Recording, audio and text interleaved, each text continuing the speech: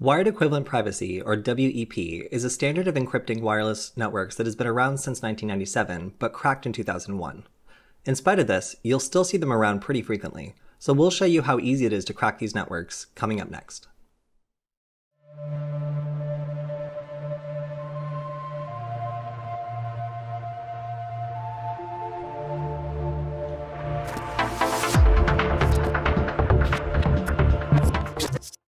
WEP has been around for a long time, and even though it was cracked in 2001, this doesn't prevent it from coming up in some surprising and sometimes important places.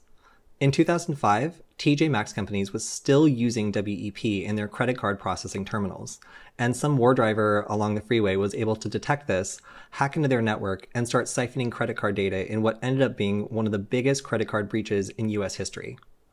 This goes to show that WEP is a serious vulnerability for anybody using it, so who would be using it at this point?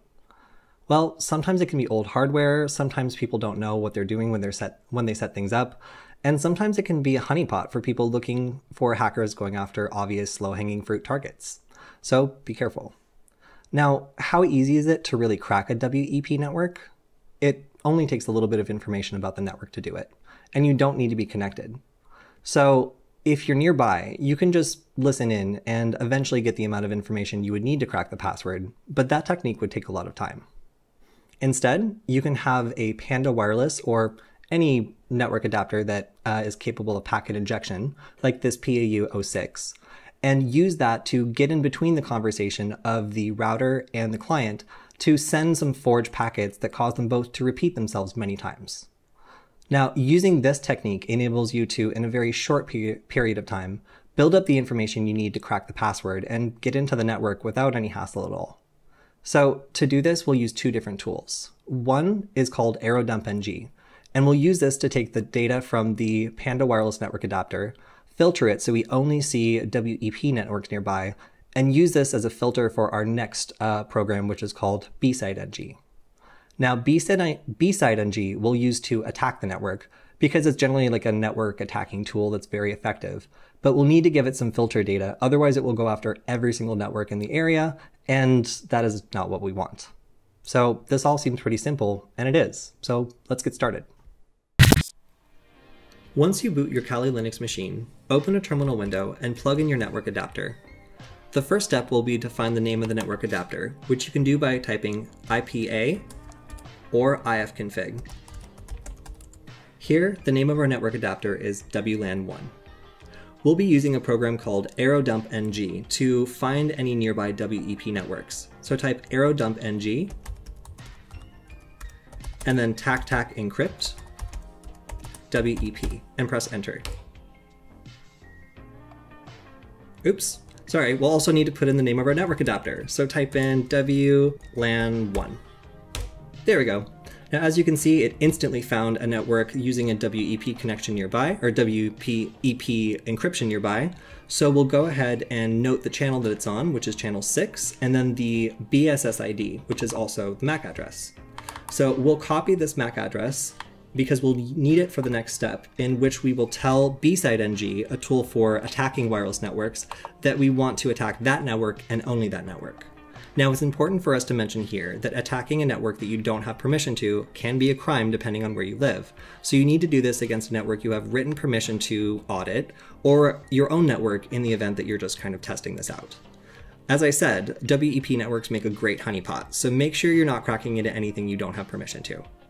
Now, to start BSideNG, type BSideNG, the name of the network adapter, WLAN1, and then tac C for channel 6, and tac B, and paste the, B side, the uh, BSSID. So now when you press enter, we should start injecting packets only for this one particular network, because if we didn't put this, uh, BSideNG would just attack every single network nearby in no particular order. So after executing this, we can see that after an initial hiccup, uh, B-side, NG is running, and it selected the, the correct network that we want to attack. So IVs are the type of packets that we can use to crack this uh, password. And B-side NG will continue to try to stimulate as many as possible, first with just injection, but then with uh, uh, flood. So if your network card goes down for some reason, or if there's any other issue, you can generally just run the command again because it's saving all these things to a .cap file, which will save all the IVs that you are able to uh, pull down from bside-ng. And if you're really having trouble with your network card, you can just run aircrackng to get both the hex version of the password, which bside-ng will uh, give you at the end of this process, or it can also give you the ASCII version of the password, which is much easier for people to remember. So hopefully we'll be able to uh, get a, oh, there we go. We'll be able to get a packet that allows us to flood and really create a ton of different IVs in our um, cap file. And it's important to note that this is going pretty fast. Uh, if you were a person who had this uh, WEP network, you probably should be worried that we would be able to get in here in less than five minutes, maybe even less than two minutes, because once somebody's on your network, they can do things like a man in the middle attack, which basically controls your internet experience, can route you to fake login pages, run keyloggers, and otherwise uh, steal passwords and worm their way into your life even worse. So now you can see we're doing flood cracking, we're getting a whole bunch of packets, and once we reach around 25,000, we can expect the security of this network to fail. Um, and that just means that we have enough information to crack the password. We no longer need to even be connected to it because we can just run this crack offline wherever we are. So we're at about 6,000 now. Let's watch as we go up to, let's say around 25,000, and we should see an output from bside ng telling us that it's cracked the password and giving us the hex version.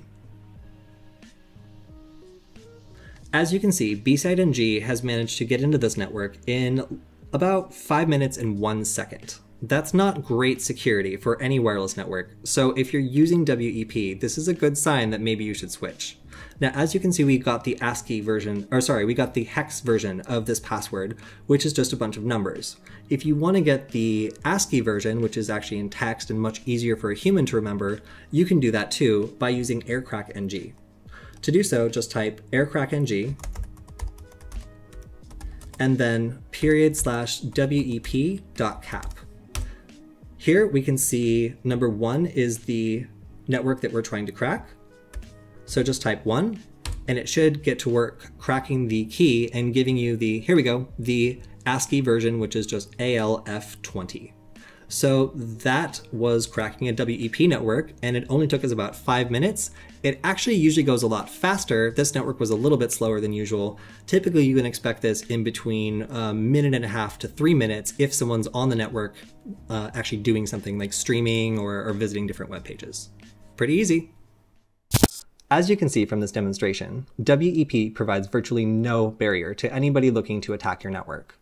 Now, this is a problem because anybody on your network can launch a man-in-the-middle attack, which can completely control your internet experience and even steal your passwords. So if you or anyone you know uses WEP security on any of your networks, you should change it immediately. Thanks for watching this episode of Cyber Weapons Lab. Make sure to like, comment, and subscribe, and we'll see you next time.